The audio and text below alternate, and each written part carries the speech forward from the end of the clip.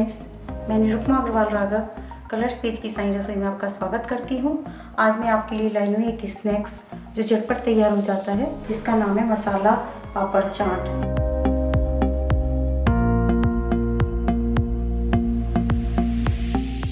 और फटाफट बन जाती है ये, और दो तीन तरीके से मैं बताऊँगी कि किस तरह से आप लाइक करें, उसी तरह से बनाएँ। चाट के लिए हमें क्या क्या चीज़ों की ज़रूरत होगी, सामग्री, वो मैं आपको बता रही हूँ। ये मैंने दो पापड़ लिए हैं। आप मूंग दाल की उड़द दाल के, या दोनों मिक्स दाल के भी ले सकते हैं।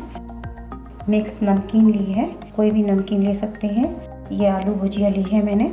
ये एक कटा हुआ सेब है, कटा हुआ प्याज है, कटा हुआ टमाटर है, और थोड़े से मैंने ये चिरवे लिए हैं, थोड़े से रोस्ट किए हुए हैं मैंने। ये अनारदाना है। धनिया है, थोड़ा ऊपर गार्निशिंग के लिए। ये मीठी इमली की चटनी है, खट्टी मीठी चटनी है और ये हरी चटनी है और ये मीठा फेंटा हुआ दही है। ये चाट मसाला है, ये थोड़ा सा काला नमक है, भुना जीरा है और थोड़ी सी कटी हुई हरी मिर्च है, ये नींबू का रस है। सफ़ेद नमक लिया है ये। ये कटा हुआ बारीक पनीर है, उबले हुए आलू हैं कटे हुए और ये कद्दूकस किया हुआ थोड़ा सा पनीर है। चलिए अब हम आपको बताते हैं कि पापड़ मसाला चाट कैसे बनेगी? एक पे मैंने तवा गरम करने रख दिया है सिम गैस पे और एक पे मैंने ऑयल गरम होने रख दिया है कढ़ाई में। दोनों साथ साथ बताऊँगी मैं आपको। और देखिए, उसके लिए मैं एक पापड़ ले रही हूँ। हाफ़ कर ले रही हूँ मैं इसको। इस तरह से या आप कैंची से भी इसको हाफ़ करके काट सकते हैं। अब मैं इसको कपड़े से दबाते हुए सेकना है हमें, क्योंकि नहीं तो ये किनारे इसके उठ जाएँगे। दोनों चीज़ों को आप एक साथ नहीं करें वन बाई वन भी कर सकते हैं। इसको आप कलछी की सहायता से इस तरह से भी दबा के कर सकते हैं। लेकिन मैं इसको कपड़े से दबा रही हूँ। कोई भी कॉटन का कपड़ा लीजिए आप। सिंथेटिक कपड़ा नहीं लेना है, क्योंकि कपड़ा चिपक जाएगा तवे पर। देखिए, ये सिकने लगा है पापड़ हमारा। किनारे इसके फोल्ड नहीं होने चाहिए। अब मैं जल्दी से इसको उठाऊँगी और देखिए, इस तरह से फोल्ड करूँगी मैं। देखिए, इस तरह से मैंने इसे फोल्ड कर लिया है।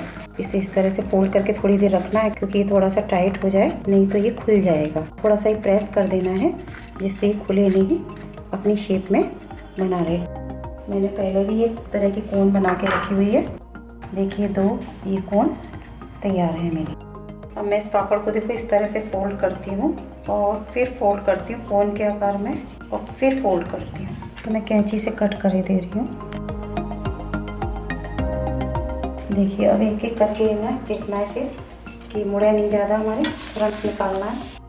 इकट्ठे डाल देंगे हम तो मुड़ जाएँगे। एक पापड़ में और तलूँगी, तीन तरह से बनाऊँगी इसे। बच्चों को अट्रैक्ट करने के लिए हम कई तरह की शेप को इस्तेमाल करते हैं। क्योंकि बच्चे क्या होता है कि जो नई सी चीज़ देखते हैं, फटाफट खा लेते हैं।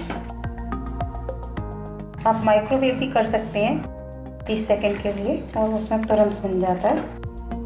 अब ये देखिए हम तीन तरह से हमारे ये पापड़ तैयार हैं बिल्कुल। अब देखिए, तीनों को मैं अलग अलग स्टेपिंग से भरूँगी। ये चाँद बता रही हूँ मैं पहले आपको। इसके लिए मैं क्या करती हूँ, ये थोड़े से इसमें प्याज पहले डालूँगी एक एक करके डालूँगी इसमें। एक चीज़ ज़रूर ध्यान रखिए, जब ये खानी है, तुरंत ही बनाइए, क्योंकि पापड़ तुरंत सॉफ्ट हो जाता है, फिर मज़ा नहीं आएगा क्रिस्पीनेस इसकी चली जाएगी। और फिर इसमें मैं थोड़े से ये चिरवे रखती हूँ। हल्की सी भी सेव थोड़ा सा पनीर कटा हुआ। मैं थोड़े से ये सेब डालूँगी। थोड़े ये सेब अनार के दाने। अब मैं थोड़ा सा इस पर नींबू का रस स्प्रेड करूँगी हल्का सा। और फिर इसमें मैं ये चाट मसाला डालती हूँ। फिर मैं ये देखिए, मैं ये टमाटर स्प्रेड कर रही हूँ। टमाटर मैंने बाद में इसलिए डाला है क्योंकि टमाटर में पानी होता है तो पापड़ जल, गल जाएगा। धनिए से गार्निश करती हूँ इसको। थोड़ा सा मैं इसमें कसा हुआ पनीर, काला नमक, हल्का सा जीरा भुना हुआ और थोड़े से फिर इसमें गार्निश करने के लिए अनार।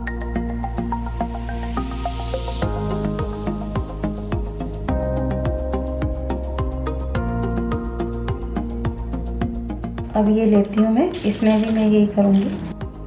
देखिए, मैं थोड़ा सा सॉस स्प्रेड करती हूँ ऐसे करके। फिर इस पर हम थोड़े से चिरवे आप चाहें तो ये, और थोड़ी सी ये सेब अब थोड़ी सी प्याज डालेंगे इस पर अगर प्याज पसंद करते हैं तो डालिए, और इसमें थोड़ा ज़्यादा मैं सेब डालूँगी। एक खट्टा मीठा सा फ्लेवर लेगा इसका। और थोड़ी सी इसमें ये हरी चटनी, नींबू का रस, बहुत हल्का सा, थोड़ा सा ये मिक्सचर वाली नमकीन। थोड़े से ये और डाल दीजिए इसमें अच्छे से, गार्निशिंग के लिए। चाट मसाले से इसे गार्निश कर रही हूँ। कटा हुआ पनीर। लीजिए ये भी हमारी चाट तैयार हो गई है।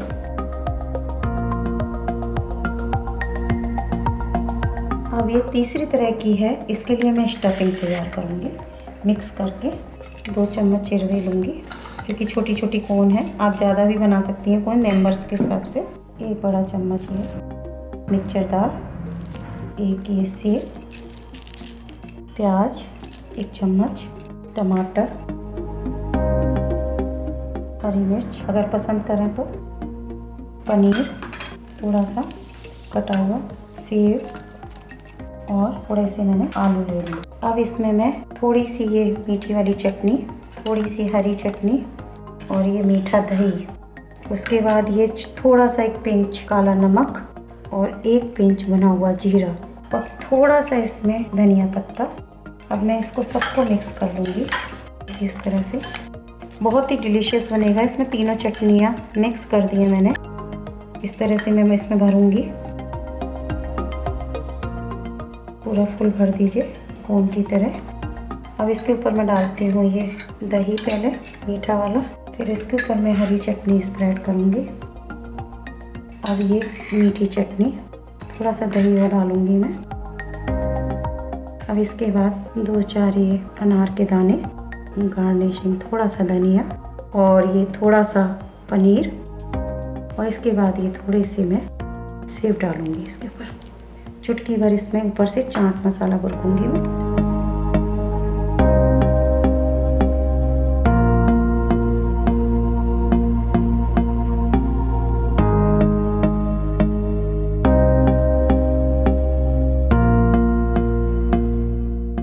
देखिए दोस्तों ये कितनी प्यारी मसाला चाट कोन तैयार हुई है।